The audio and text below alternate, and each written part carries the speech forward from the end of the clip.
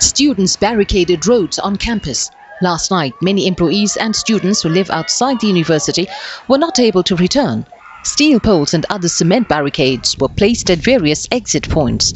Police were called in this morning. They used rubber bullets to disperse rampaging students. University authorities say they will be held liable for damage.